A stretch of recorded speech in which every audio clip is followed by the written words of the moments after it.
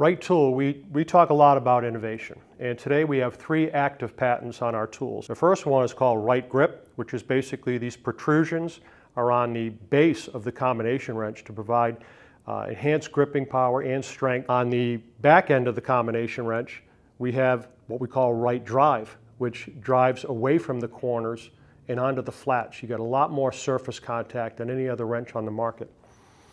This is also applied to our sockets, Wright Drive on the open end, also on our impact sockets. And then finally we have what we call Wright Square, which are tighter tolerances for better engagement with the, either the pneumatic tool that you're using or the drive tool that you're using on the, on the uh, ratchets and breaker bars.